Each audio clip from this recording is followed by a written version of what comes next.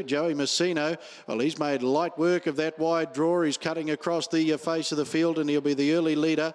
Worthing's up there with Power Player and they're followed by Breaking Dawn. A length off those is Strato.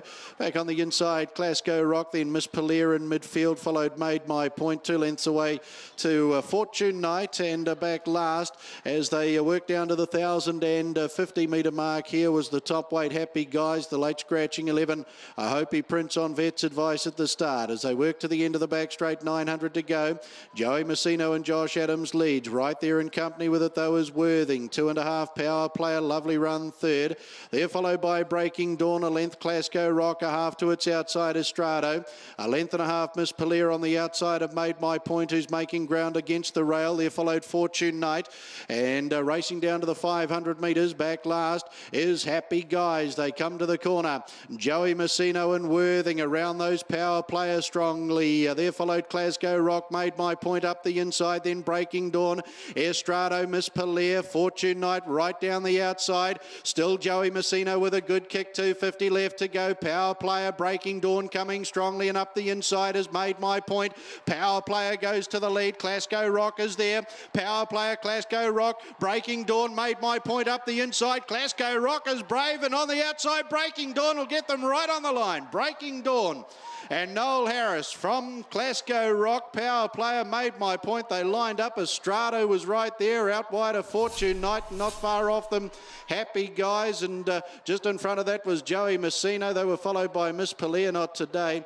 And knocking up to run last was uh, Worthing. And the late scratching number 11, uh, Hopi Prince. Great finish to the first leg of the uh, quaddy. It's uh, NGH at his brilliant best, gets the best out of Breaking Dawn. Close to the post will get over the top of Glasgow Rock, the roughie for the race. That'll be a second. And the Lodge Real Estate 1600 and first leg of the quaddy today goes the way of nine, Breaking Dawn. That's the one you need on your quaddy ticket and seemingly 9, 10, 8 and 6 for the first four, but we do need that to confirm just to be 100% on it and official. But a good contest, really was just a little tight at stages as well, and a good driving go to the line. Noel Harris with Breaking Dawn the outside, the winner. Late scratching the 11, a Hopi Prince. Moving forward for the second one at Rosehill in Sydney. Now this one is uh, for the two-year-olds. There's only two of these have had uh, a race day appearance. Uh, the one and the two have had one run apiece. And so the nine is um, Therefore, on debut, the filly by Snitzel won a trial on the 10th of December.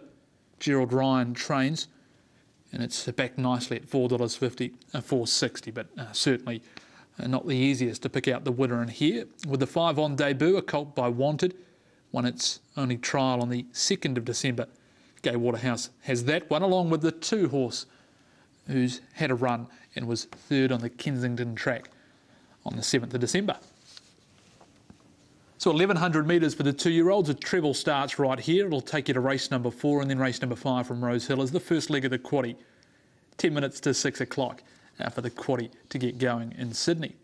Here's Mark Sheehan. And they're ready to go. Two-year-olds all locked away for race number two. Set to go, off and racing. Lucky Coin came out slowly. And uh, jumping out quite well was uh, Bam Kukin has gone through and Francesco is showing good speed as well. But Bam Kukin on the outside, just in front of Francesco, followed by Cycle.